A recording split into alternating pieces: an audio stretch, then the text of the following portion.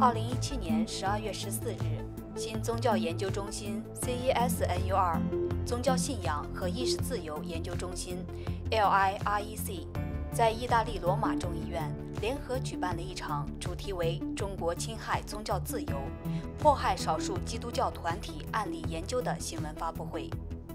会议针对逃亡到欧洲的多数全能神教会基督徒难民申请遭拒并面临遣返的问题进行呼吁。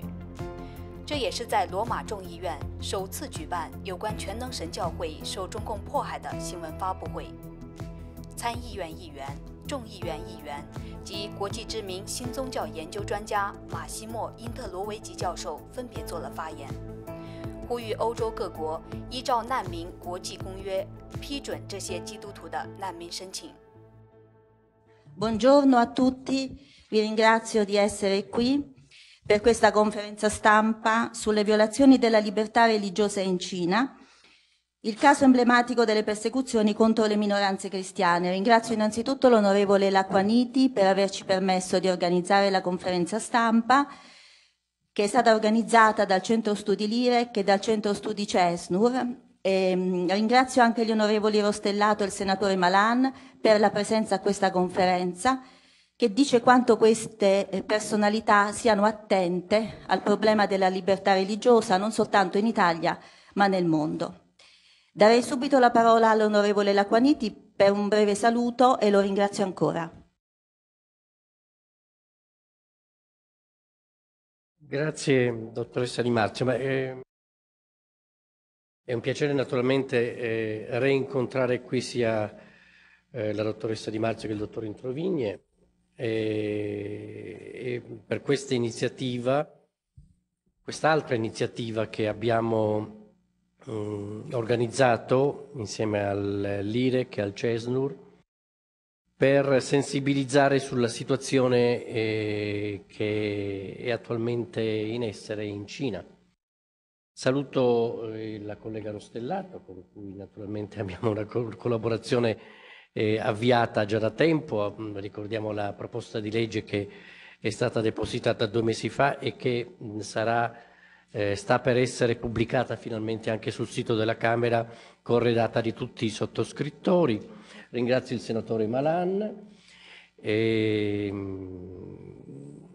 io ho, conosci ho, conosciuto la situazione dei cristiani in Cina ehm, grazie alla testimonianza diretta che, che ho ricevuto da eh, alcuni di loro che in occasione di un convegno che abbiamo organizzato, una delle tante iniziative che abbiamo organizzato sulla libertà di religione a Palazzo San Macuto, si sono avvicinati un giorno e mi hanno raccontato la loro storia, poi lo, li ho reincontrati a Brescia e, e devo dire che sono rimasto uh, colpito da quanto ho ascoltato.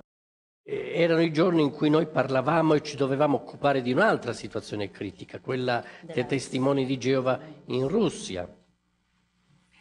La situazione, eh, la mancanza di libertà di religione in, in, Cina non è certo una cosa nuova, è una cosa che conosciamo bene, che sappiamo bene.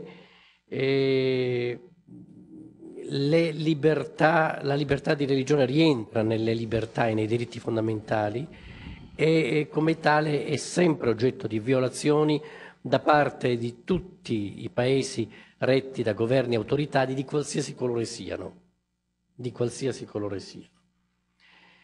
Quindi abbiamo deciso di eh, accettare questo invito che ci veniva fatto e grazie alla particolare sede in cui ci troviamo di cercare di sensibilizzare l'opinione pubblica anche su quanto sta avvenendo in Cina in particolare ai danni di questi cristiani evangelici cinesi. Quindi io oh, molto volentieri ho accettato l'invito a organizzare questa iniziativa. Adesso io passerei la parola ai miei colleghi e beh, l'occasione naturalmente è anche quella di fare eh, gli auguri per le prossime festività, ma poi di darci appuntamento ad altre due iniziative che avremo, faremo ancora a tempo eh, Camere probabilmente sciolte, faremo ancora a tempo a ottenere in materia di libertà religiosa nel mese di gennaio. Grazie. Grazie all'onorevole Laquaniti. Do la parola subito all'onorevole Rostellato.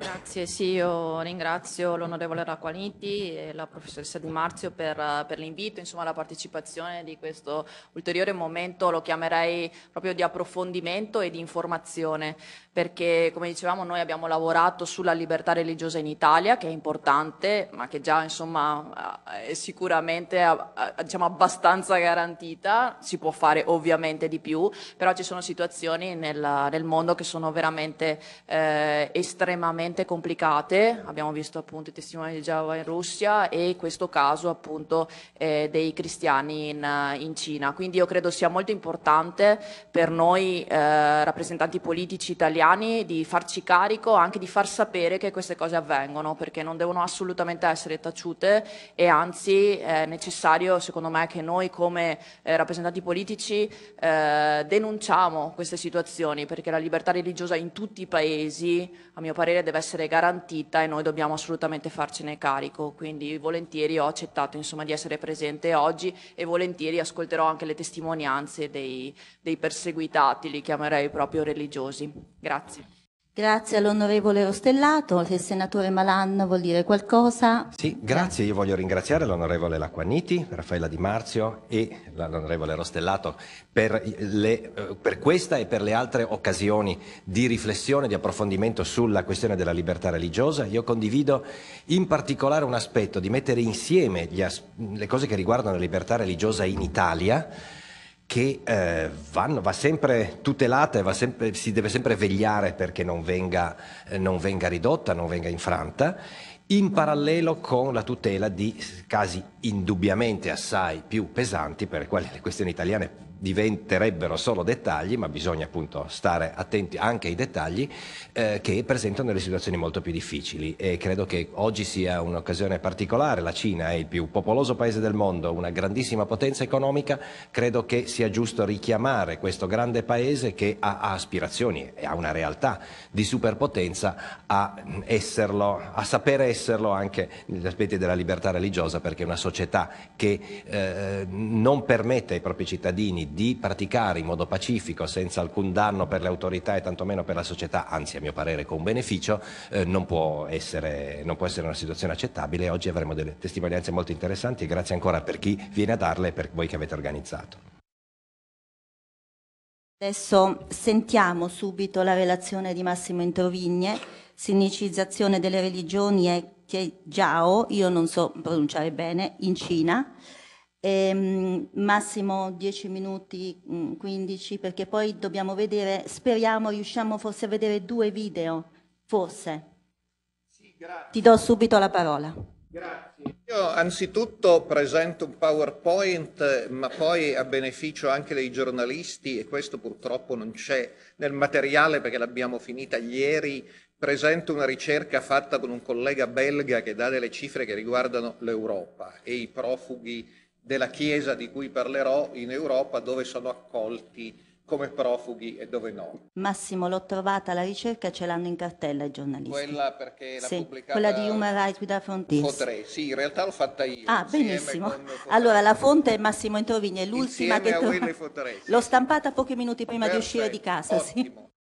Allora, anzitutto un inquadramento di quello che succede in Cina, dove c'è stato il congresso del Partito Comunista Cinese, come sapete, da cui sono emerse in materia di religioni due parole d'ordine. La prima è sinicizzazione e la seconda è lotta contro quelli che sono chiamati Xie Jiao, e sono due parole da capire per inquadrare la situazione cinese e che vanno al di là del significato letterale.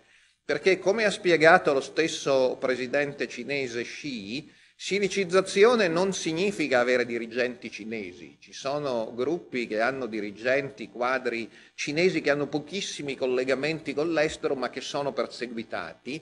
Sinicizzazione significa due cose, cioè consentire che i dirigenti non siano eletti ma nominati da fuori, dalle autorità del Partito Comunista e del governo e eh, inquadrare i propri scopi nei piani e dei progetti del partito e del governo. Se uno non fa così non è eh, sinicizzato.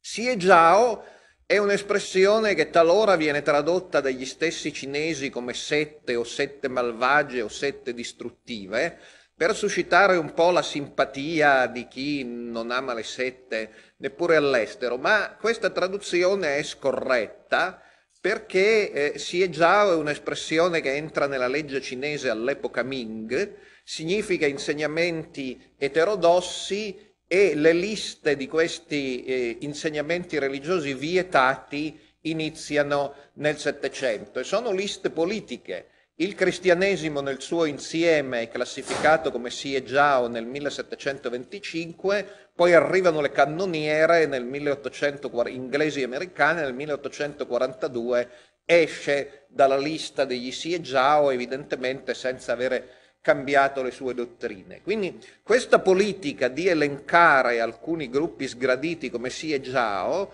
passa dall'impero alla Repubblica, dalla Repubblica al regime comunista. La definizione è molto vaga, l'ultima definizione del gennaio 2017 e identifica Siegiao come gruppi che diffondono fallacie superstiziose, ma che cosa sia una fallacia superstiziosa e che cosa sia una dottrina religiosa è cosa molto difficile da definire. Da questo sistema escono tre categorie di religione in Cina, le religioni sinicizzate, tra cui la Chiesa patriottica, cattolica, o la Chiesa delle tre autonomie, che è la Chiesa unica protestante, con dirigenti nominati dal governo, le religioni non sinicizzate, come la Chiesa cattolica clandestina o le house churches, le chiese domestiche protestanti, che vivono un'esistenza molto precaria, ogni tanto li arrestano, ogni tanto no, e eh, i gruppi che sono nell'elenco degli Siegiao, di cui il Presidente ha detto che vanno estirpati come tumori Fare parte di uno Siegiao, secondo l'articolo 300 del codice penale cinese, è di per sé un crimine. Eh, se uno non commette nessun'altra infrazione, ma molto facile, stampare letteratura non autorizzata è già un'altra infrazione, la pena è da 3 a 7 anni. Il caso della Chiesa di Dio Onnipotente lo presentiamo perché è il più macroscopico per numero di arresti in Cina e per numero di profughi in Italia e in Europa. Sicuramente un nuovo movimento religioso insegna che Dio Onnipotente si è incarnato in una persona eh, vivente oggi ed è percepito come eh, un avversario del comunismo perché considera comunismo una manifestazione del male e dell'Apocalisse anche se non propone nessuna rivoluzione violenta. Eh, qui dico che eh, il Partito Comunista cinese e le sue articolazioni attribuiscono 3 milioni, in realtà la stima è stata rivista qualche giorno fa a 4 milioni. Io penso che i membri siano di meno, ma siccome è tutto clandestino eh, sono difficili eh, da contare. Gli arrestati dal 1995, secondo la Chiesa, sono 300.000. La cifra non è incredibile perché le stesse fonti ufficiali cinesi parlano spesso di migliaia di persone arrestate. Eh, ci sono prove, secondo me, credibili di tortura e una trentina di morti in carcere in circostanze sospette. E io sono stato invitato dall'associazione Anti-Siejiao, che è un'articolazione del Partito Comunista Cinese, quest'anno due volte, a giugno a Zhenjiao, nell'Henan, e a settembre a Hong Kong, a partecipare a convegni contro la Chiesa di Dio Onnipotente. E, come ha scritto la stampa, ci sono andato insieme a quattro colleghi americani con animo molto sgombro. Ho ricevuto un pacco di documenti. Tutti i documenti su cui ho lavorato mi vengono dalle autorità cinesi, non dalla Chiesa di Dio Onnipotente, eh, da cui ho concluso che i crimini di cui è accusata, almeno quelli di cui ho avuto documentazione, non sono inventati, ma sono stati commessi da altri gruppi. Caso più clamoroso, c'è stato un documentario della BBC che purtroppo attribuisce a questa chiesa l'efferato omicidio di una persona che aveva risposto male a dei missionari in un McDonald's del 2014, ma la documentazione che ho è, è, chiarissima, cioè un gruppo che fa riferimento nel nome a Dio Onnipotente, ma è un altro, la persona di Dio Onnipotente è un'altra, l'organizzazione è un'altra, i leader sono, quindi è, è un altro eh, gruppo. Qui si vede, questo è eh, la televisione ufficiale cinese che appunto ha riconosciuto il mio viaggio, la, la, disponibilità a starli a sentire. Mi dispiace per la cortesia dei cinesi, ma siamo arrivati a conclusioni diverse da quelle che forse loro si aspettavano.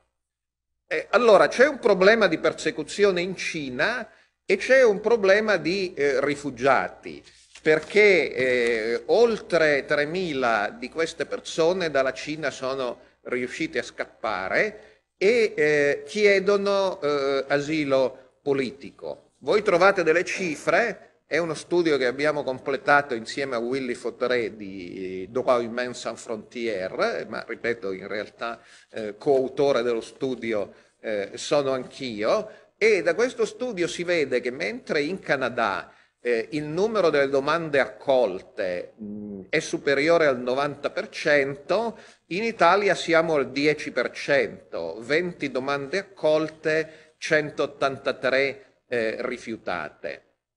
La situazione è ancora peggiore in Svizzera, perché la Svizzera forse è un paese più serio di noi, ma gli ordini di rimpatrio li eseguono, allora, a, me pare che eh, siamo di fronte ad una violazione macroscopica delle convenzioni internazionali in materia di rifugiati. Eh, L'Alto Commissariato ONU nel 2004 ha pubblicato delle direttive molto chiare sulla persecuzione religiosa, dove si dice che per ottenere lo statuto di rifugiati non bisogna provare di essere stati perseguitati personalmente, ma solo di avere un fondato timore di persecuzione. Ovviamente dai numeri e dal fatto che fare parte di uno SIEGAO è un crimine per il codice penale, non è un problema di applicazione, se uno fa parte di un movimento che è sulla lista degli SIEGAO e queste liste sono pubbliche, sono pubblicate dal governo cinese sui suoi siti internet, evidentemente ha un fondato timore di persecuzione. L'obiezione che è fatta anche in Italia è ma non avete provato di essere stati perseguitati personalmente, ma le direttive del 2004 delle Nazioni Unite ci dicono chiaramente che questa prova non è necessaria. Concludo dicendo che eh, oggi abbiamo parlato della Chiesa di Dio Onnipotente, non solo perché in Italia ci sono dei rifugiati, alcuni dei quali sono presenti, eh, ma eh, perché eh, è il caso con i numeri più alti, soprattutto in Europa. In tutta Europa ci sono 1754 domande di asilo, di cui solo 98 sono state accolte, 780 rifiutate, 156 con ordini di rimpatrio, soprattutto in Francia e in eh, Svizzera. L'Italia almeno non li rimpatria, eh, però il problema è un problema che riguarda eh, molte altre formazioni religiose, molti conoscono il caso eh, del Falun Gong che forse ha una struttura e un'organizzazione migliore anche dal punto di vista degli avvocati, quindi riesce a resistere ai tentativi eh, di rimpatrio, ma riguarda anche religioni che non sono nella lista degli Siegiao, ma non essendo sinicizzate sono eh, oggetto di eh, persecuzione. Ecco, questa è un'introduzione generale per ragioni linguistiche eh, i nostri amici cinesi che in parte sono qui eh, hanno preferito una testimonianza eh, via video doppiata eh, e che ora forse possiamo passare a farvi eh, vedere. Tanto che Massimo Introvigna mette il video, volevo mh, segnalare che nella cartella c'è una sitografia nella sitografia trovate anche il link a questo documento che ha, che ha citato adesso Massimo Introvigne. E quindi poi con tutta calma, se volete approfondire le ricerche su questo fenomeno, avete Buongiorno molti siti da controllare. Mi chiamo Joanne, ho 45 anni, sono un cristiano che fa parte della Chiesa di Dio Onnipotente e sono di nazionalità cinese. Ringrazio gli organizzatori per questa occasione che mi viene data di testimoniare la mia esperienza di repressione e persecuzione da parte del governo cinese. Mi sento molto onorato. Da quando ero piccolo ho sempre seguito mia madre nella fede in Gesù, partecipando agli incontri del movimento delle chiese domestiche. Da sempre gli agenti e i funzionari del partito di tanto in tanto facevano irruzione durante i nostri incontri. Ci hanno costretto ad aderire alla Chiesa delle Tre Autonomie, la Chiesa protestante unita fondata dal governo, minacciandoci di arresto se non avessimo obbedito. Per questo ci siamo trovati costretti a fare i nostri incontri nel bosco e nel mezzo della notte. Questa era l'unica maniera per continuare a credere, anche se perseguitati dal governo. Nell'agosto del 2000 ho accettato il Vangelo della discesa del Regno, aderendo alla Chiesa di Dio Onnipotente, accogliendolo e trasmettendolo poi ad amici e parenti. In quel periodo il numero di convertiti aumentava sempre di più e di conseguenza il capo del villaggio venne a casa ad ammonirmi. Il governo non permette che tu creda in Dio Onnipotente. Se continui a credere e a evangelizzare altri, verrà la polizia e ti arresterà. Un giorno di settembre del 2000 il capo del villaggio venne nuovamente ad ammonirmi e a minacciarmi per farmi smettere di seguire la mia fede. Altrimenti avrebbe fatto rapporto. Mia madre era molto preoccupata per me e mi consigliava di scappare da casa per andare a nascondermi in modo da non essere arrestato. In quel periodo il mio cuore era oppresso, i miei genitori erano anziani e guardando mia figlia di sei anni e mio figlio ancora in allattamento con mia moglie, non potevo trattenere le lacrime e non riuscivo a immaginare di lasciare casa mia. Ma se fossi rimasto e mi avessero arrestato, avrei messo ancora più in pericolo i miei familiari. Dunque potevo solo scappare. Anche dopo essere scappato di casa non mi sentivo affatto al sicuro. Non importava dove fossi scappato, non sarei comunque riuscito a liberarmi dalla persecuzione del governo cinese. Nel giugno del 2005, mentre stavo predicando il Vangelo in un appartamento con il fratello Yang, Cinque poliziotti ci circondarono. Disperato mi buttai giù dal primo piano, ma tre poliziotti mi inseguirono. Ma non era facile lasciare indietro i poliziotti. Il mio piede destro faceva un male insopportabile. In seguito andai all'ospedale, dove dopo la visita mi dissero che la caviglia era fratturata in modo scomposto. Il medico mi ingessò il piede, dopo sei mesi di convalescenza iniziò a migliorare gradualmente. Il governo cinese, nel suo sforzo di arrestare i credenti della Chiesa di Dio Onnipotente, pubblicò diversi documenti e tappezzò i muri delle città con poster di propaganda contro i credenti, incitando anche i cittadini a segnalare i credenti e le loro attività in cambio di premi in denaro. Un giorno di dicembre del 2012 andai nella provincia del Jiangxi a portare la parola del Vangelo ai parenti di un fratello. Non erano trascorsi neanche venti minuti che quattro poliziotti apparirono sulla scena e fecero finta di non arrestarmi. In realtà a metà strada, nel buio, c'erano decine di furfanti chiamati dalla polizia che mi attaccarono. Ognuno di questi furfanti aveva in mano un bastone di legno, lungo più di un metro in un attimo mi circondarono dicendo Come osi venire nella nostra cittadina ad evangelizzare? Oggi ti ammazziamo di botte. Mentre dicevano queste parole mi picchiavano con le mazze di legno e mi tiravano calci. Mi ridussero la faccia a una maschera di sangue. Il mio corpo era a pezzi e alla fine svegli. E sentivo le loro voci offuscate che dicevano Qua abbiamo risolto la situazione, venite. In un attimo i poliziotti arrivarono e mi caricarono su una macchina. La gente all'interno mi tirò per i capelli e mi diede una sfilza di pugni sulle tempie. Mentre mi picchiava diceva ti ammazzo di botte e dopo vediamo se crederai ancora. Ero stato picchiato al punto che il mio viso sembrava dovesse esplodere. Sentivo la morte davanti ai miei occhi. Potevo solo continuare a pregare. Arrivato alla stazione di polizia, iniziò subito l'interrogatorio, ma io per il male non riuscivo neanche a stare in piedi e caddi sul pavimento. Tutto il mio corpo tremava e dalla bocca usciva saliva. Mi portarono poi all'ufficio della contea. Mentre mi facevano scendere dalla macchina e vedendomi a un passo dalla morte, mi lasciarono davanti al portone. Più tardi fu il fratello Chen che mi vide e mi portò all'ospedale per farmi curare. Dopo più di un anno di cure mi ripresi gradualmente, ma mi portai dietro i postumi della malattia e sono tuttora tormentato da forti mal di testa. Nel periodo in cui ero stato costretto a vivere lontano da casa, sentivo un'incredibile nostalgia dei miei familiari. Così un giorno, il 30 dicembre 2007, con il rischio di essere arrestato, decisi di tornare di nascosto a casa per rivedere la famiglia che avevo lasciato sette anni prima. Nel momento in cui aprì la porta di casa, mio padre mi guardò pieno di lacrime. Mia moglie, su un lato, si asciugava di nascosto le lacrime i miei figli mi guardavano ma non osavano chiamarmi papà. Davanti a questa scena il mio cuore si spezzava.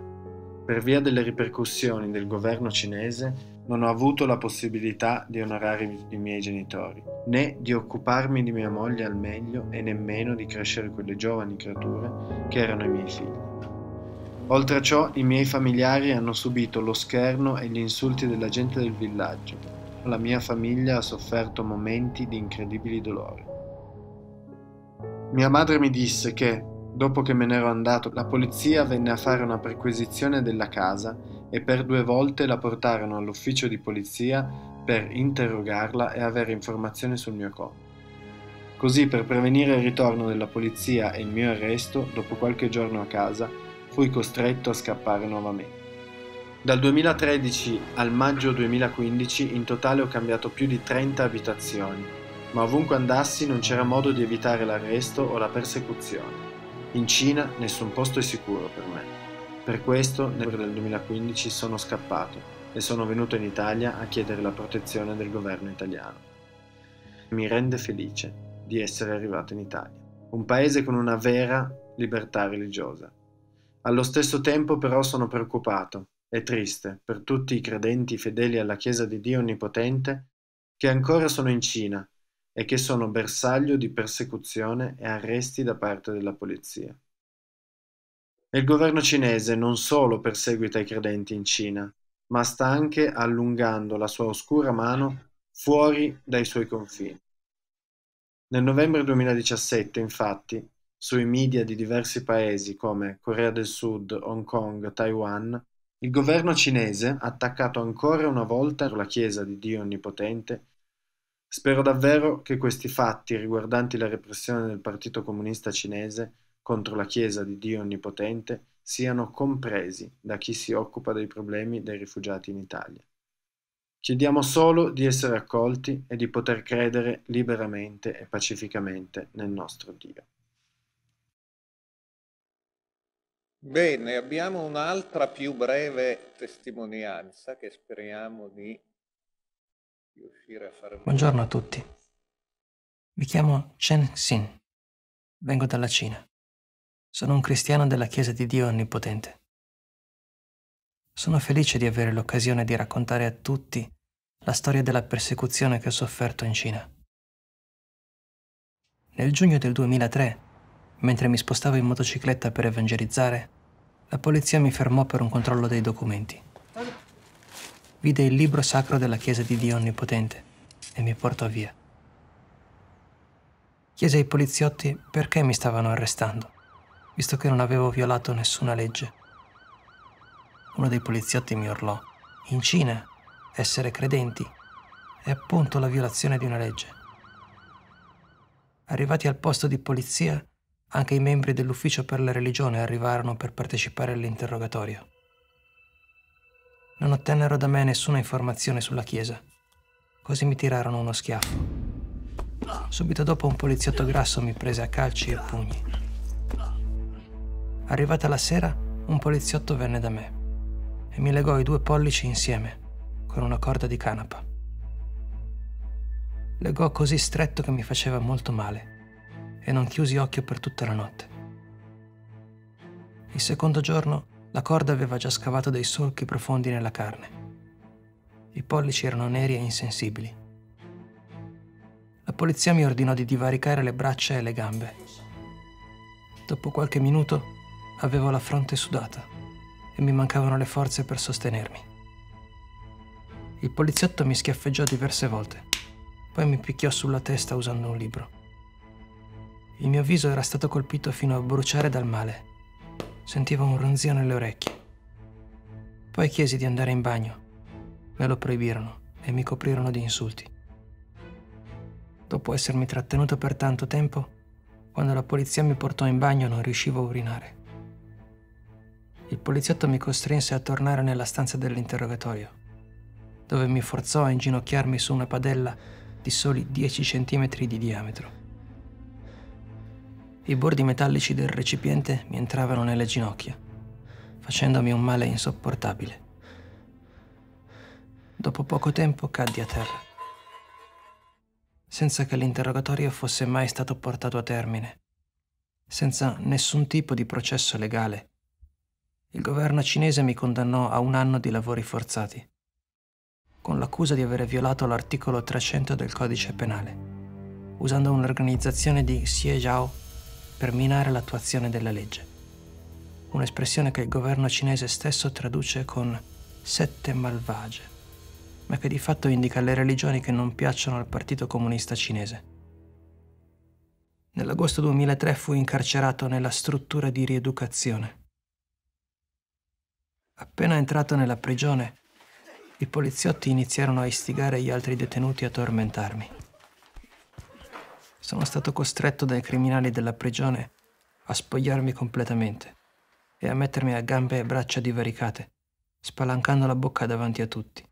Poi quasi mi soffocarono, buttandomi un getto d'acqua continuo sul viso. In prigione i credenti sono considerati criminali politici, quindi del più basso livello. Sia i secondini, sia i prigionieri potevano maltrattarci e insultarci. All'interno della cosiddetta struttura di rieducazione si viveva una vita inumana in 50 metri quadrati vivevano più di 70 persone. Le condizioni igieniche erano pessime. Ogni giorno dovevo fare 14 ore di lavori pesanti, ovviamente senza nessuna remunerazione. Ogni giorno si mangiava riso in bianco. Spesso dentro c'erano insetti e una zuppa di verdure senza un filo d'olio. Di conseguenza Durante il lavoro ero sempre stremato. I lavori pesantissimi, i maltrattamenti della polizia, le prepotenze degli altri prigionieri, con la fame, la mente e il corpo stremati, alla fine mi fecero ammalare. Il problema è che in prigione non si ha nessuna cura medica. Il prigioniero nel letto davanti a me aveva anche provato a suicidarsi. Nella mia vita successiva Spesso mi ritornano in mente queste scene. Nella notte spesso pensavo alla mia famiglia, ai miei fratelli e sorelle e alle canzoni che cantavamo negli incontri della chiesa e mi chiedevo, riuscirò a continuare a vivere fino a rivedere i miei fratelli e le mie sorelle e anche i miei genitori? In questa sofferenza non mi restava che pregare Dio Onnipotente il passo delle parole di Dio che recitavo più spesso quando ero in prigione diceva, Perciò, negli ultimi giorni, dovete rendere testimonianza a Dio. Non importa quanto sia grande la vostra sofferenza, dovreste continuare fino alla fine e persino fino al vostro ultimo respiro. Dovete ancora essere fedeli a Dio e lasciare tutto di buon grado a Dio. Solo questo è vero amore per Lui e una testimonianza forte ed eclatante. La parola di Dio mi diede fede e nuova forza, aiutandomi a superare il periodo di sofferenza e prigionia. Dopo il mio rilascio, la polizia si presentò a casa mia, facendo nuove domande e dicendomi che non era permesso continuare a fare parte della Chiesa, altrimenti mi avrebbero arrestato di nuovo per nascondermi da un nuovo arresto da parte del governo e per la sicurezza dei miei familiari, non ebbi altra scelta che scappare, lasciando la mia casa. Nei dieci anni abbondanti in cui sono stato via di casa, per via dei continui controlli dei permessi di residenza da parte del governo e per via delle ricompense in denaro elargite a chi ci denuncia, che coinvolgono anche i comuni cittadini nella persecuzione dei credenti, ero costretto a cambiare casa molto spesso. Nel luglio 2015, fratello Xiu fu arrestato dalla polizia. Nel video di sorveglianza che avevano comparivo anche io. Sarei stato certamente arrestato di nuovo. Per disperazione, nel 2015 scappai per venire in Italia. In Cina si perseguitano i credenti e noi cristiani ci vediamo privati dei nostri diritti. Oggi l'Italia mi accetta temporaneamente in quanto persona perseguitata dal governo cinese.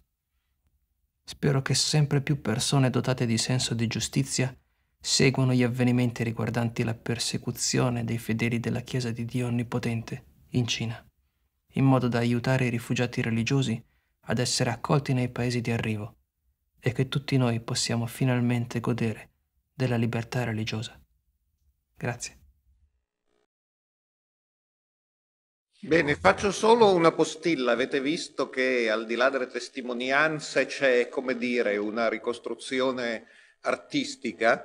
Uno dei fenomeni non tragici ma eh, interessanti che ho studiato, a cui ho dedicato un articolo recente, è che dal 2014, sicuramente una conseguenza non voluta dal governo cinese, ma la diaspora in parecchi paesi del mondo della Chiesa di Dio Onnipotente ha portato a una fioritura artistica che riguarda la pittura, ma in particolare il cinema, eh, sia un musical sia un documentario con attori sulle persecuzioni hanno vinto dei premi negli Stati Uniti in festival cinematografici. Eh, sicuramente ecco, eh, magari preferirebbero non essere stati perseguitati e non avere questa fioritura artistica all'estero, ma è una delle conseguenze eh, della dispersione nel mondo dei fedeli di questo nuovo movimento religioso. Bene, eh, siamo giunti alla conclusione di questa eh, conferenza stampa. Volevo mh, segnalare ai giornalisti che ci sono entrambe le trascrizioni delle testimonianze nella loro cartella. Poi volevo dire soltanto due parole.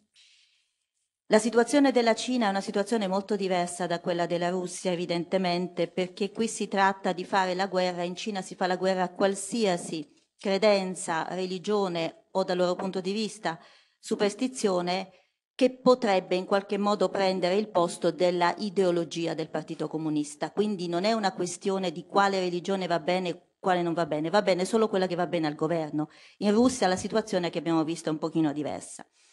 La seconda riflessione che ho fatto ascoltando queste testimonianze e conoscendo alcuni anche dei rifugiati è che, come sempre è avvenuto nella storia, di fatto la persecuzione dei fedeli non ottiene alcun risultato se non l'effetto esattamente opposto, perché c'è stata negli ultimi anni una fioritura straordinaria di chiese cristiane, chiese domestiche in Cina, esattamente nel momento in cui le persecuzioni aumentano.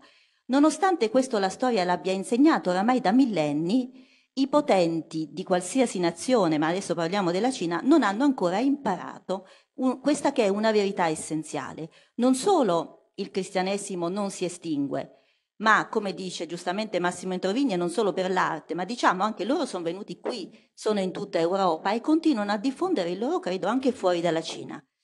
E questo mi sembra molto interessante mh, mm, perché è un altro, eh, un'altra prova che quando non si vuole, non si impara dalla storia e si continua a ripetere gli stessi errori.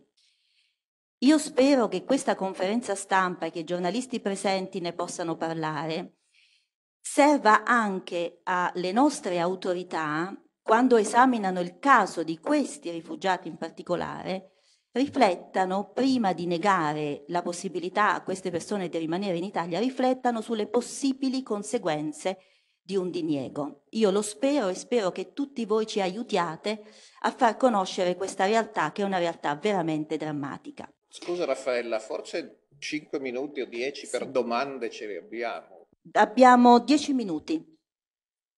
Se qualcuno vuole chiedere.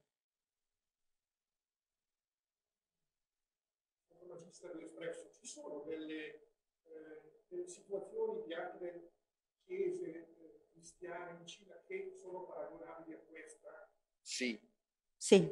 Sì, nel senso che mh, abbiamo cominciato, non abbiamo ancora dei dati, ma per me il caso più interessante è che ci sono domande di asilo negli Stati Uniti, soprattutto perché lì hanno molti correligionari, ma qualcuna siamo nell'ordine delle decine però, anche in Europa, di religioni che non sono nella lista eh, Siegiao, che comprende per esempio la Chiesa dell'Unificazione del Reverendo Moon e una chiesa grande che è la chiesa locale di Witness Lee, questi entrano ed escono dalla lista, ma quando sono nella lista sono esattamente nella stessa situazione. Ma per me il caso interessante è che ci sono domande di asilo di chiese che non sono nella lista degli Siegiao, in genere fanno parte della costellazione delle chiese domestiche, quindi non sono considerate diciamo sette, ma sono considerate non sinicizzate. Eh, perché rifiutano di avere pastori nominati eh, dal governo quindi anche questi vivono un'esistenza. Io devo dire, stando in Cina mi sono reso conto che, eh, i, stando visitando la Cina, che il governo è assolutamente imprevedibile, ma diciamo proprio Sandro Magister lo ha documentato in servizi sulla Chiesa Cattolica clandestina, cioè per mesi magari non succede niente, poi c'è un'ondata di repressione, qualcuno sparisce e non riappare più. Eh, e poi di nuovo c'è, qui ho l'impressione eh, che mh, anche i grandi specialisti che ci sono nelle grandi chiese, e di nuovo ringrazio Sandro Magister per averlo documentato, qualche volta non sappiano che pesci pigliare, perché anche nel rapporto col Vaticano eh, c'è questo continuo stop and go. Qualche volta sembra che ci siano delle grandi aperture, ma proprio nel momento delle aperture parla uno dei leader del Partito Comunista Cinese, c'è un'altra ondata di arresti. Quindi eh, questa imprevedibilità naturalmente rende la situazione dei credenti non sinicizzati della seconda categoria eh, piuttosto precaria. Gli unici tranquilli dopo la rivoluzione culturale, in cui furono perseguitati anche loro, ma è storia di molti anni fa, sono quelli della prima categoria. Eh, devo dire che visitando la Cina, tra i credenti sinicizzanti ci sono persone che veramente vanno nelle chiese del governo per pregare, non sono sicuramente tutti degli opportunisti, ma devo dire diversa è la situazione dei pastori, ecco, che danno invece l'impressione di essere effettivamente eh, degli agenti del, del, governo più che dei veri eh, pastori cristiani. Ma sicuramente sì e eh, con l'entrata in vigore della prossima legge sulla religione che dovrebbe entrare in vigore nel febbraio 2018, la situazione, devo dire, tutti gli specialisti cinesi e stranieri prevedono che peggiori, non che migliori, perché ci sarà un'ulteriore stretta anche sulla categoria numero 2. La 3, diciamo, sono 300 anni che chi è nella lista degli Siegiao fa una brutta fine, ma anche la categoria 2, non Siegiao ma non sinicizzati, eh, ci saranno eh, probabilmente delle ondate di repressione più frequenti con, con, la nuova legge che non con la legge precedente, il che dimostra, cari deputati e senatori, che si può fare di peggio che non fare una legge come in Italia, cioè si possono fare delle leggi peggiorative, peggiorative. Eh, rispetto alla situazione precedente. E volevo aggiungere rispetto a questo caso in particolare che nel caso della Chiesa di Dio Onnipotente, c'è stata un'azione diretta del governo per mettere questa chiesa contro tutte le altre chiese e farla apparire veramente una organizzazione criminale, quindi attribuendole un reato gravissimo che non hanno commesso. Questo problema delle chiese domestiche e anche della competizione tra di loro che c'è, per cui l'una magari accusa l'altra di essere setta, in questo caso viene usato dal Partito Comunista Cinese per procacciarsi qualcuno che poi fa la spia contro la setta criminale e questo è molto è terribile, però è anche interessante perché si vede come in generale la nozione di setta possa essere attribuita a chiunque e se questo fa comodo a un potere politico o a un governo, il governo usa anche questo per mettere le chiese l'una contro l'altra. Questo mi sembrava importante dirlo. Bene, se non ci sono altre domande, noi dobbiamo chiudere assolutamente tra 3-4 minuti, però forse per una domanda o se c'è un intervento di, del senatore. Ecco, benissimo. Una domanda al, al professor Introvigne.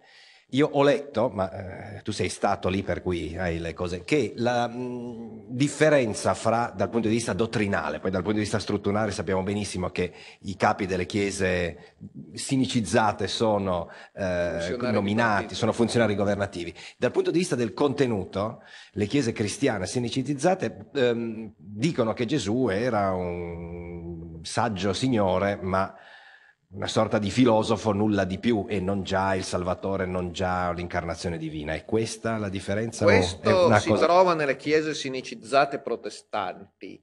In verità la Chiesa cattolica patriottica ufficialmente mantiene le, le, diciamo, le dottrine teologiche fondamentali della Chiesa cattolica romana.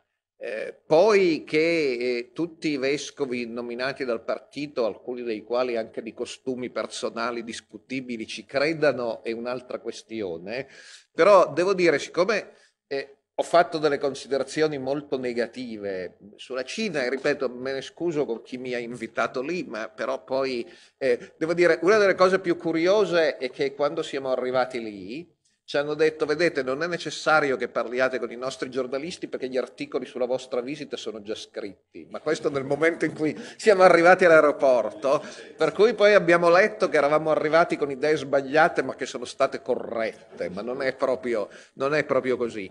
E eh, devo dire, se voglio spezzare una lancia a favore, è che l'idea che mi sono fatto è che mentre i dirigenti lasciano un'impressione di forte ambiguità, per dire il meno delle chiese sinicizzate, molti fedeli che vanno in chiesa dove cantano, pregano, mi sembrano dei veri fedeli, cioè non dei figuranti come si dice avvenga in Corea del Nord, no? dove c'è una sola chiesa aperta, ma pare che siano attori, non veri fedeli cristiani. Lì mi sembrano dei fedeli veri, i quali magari sono meno eroici di quelli delle chiese clandestine, quindi vogliono andare a pregare senza avere grane, però quello che arriva nella chiesa cattolica patriottica con la candela vuol proprio mettere la candela, non l'ha pagato il partito, anche perché qualche volta siamo arrivati a sorpresa, quindi non sapevano che ci fossero dei visitatori stranieri, anzi erano molto interessati a fargli loro delle fotografie allo straniero,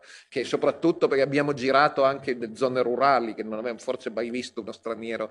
Quindi la mia impressione è che i fedeli siano veri e che i dirigenti, non so, i pastori, i preti qualche volta non sono tanto veri nelle chiese eh, sinicizzate, e il fatto che anche dove c'è solo la chiesa sinicizzata il fedele ci vada è molto interessante perché mostra che comunque c'è una forte domanda di, di religione nel popolo cinese che non si riesce a reprimere.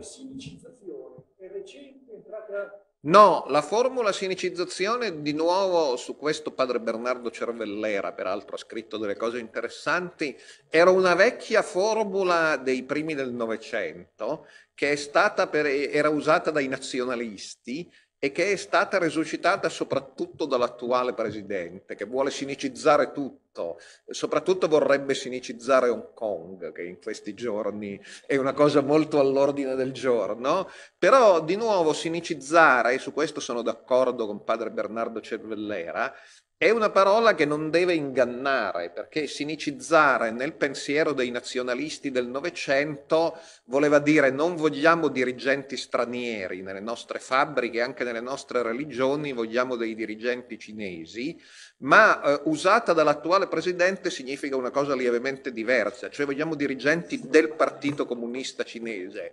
perché eh, nei libri di, di, studiosi occidentali che la descrivono non c'è niente di più cinese della Chiesa di Dio Onnipotente, cioè i fondatori sono cinesi, è un fenomeno impossibile da capire se non affondando le radici nella storia del cristianesimo e anche delle nuove religioni cinesi, cioè non ci sono dirigenti stranieri.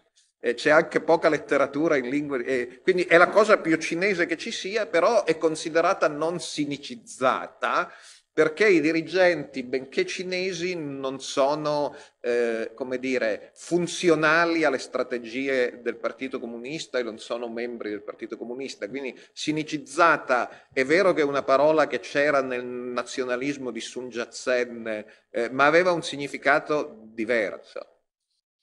Bene, la mia impressione è che il Partito Comunista non riuscirà a sinicizzare proprio nulla, perché questi credenti che io ho conosciuto sono persone del tutto indipendenti, con un pensiero loro e una fede immensa alla quale non rinunciano neanche con la prigione le torture e i ricatti. Quindi io non credo che avrà successo tutto questo e mi auguro che non avrà mai successo. Vi ringrazio tutti per la partecipazione e speriamo di vederci per occasioni non di persecuzioni ma di valorizzazione dei diritti umani. Grazie a tutti, arrivederci. Buon Natale, eh? buon Natale a tutti.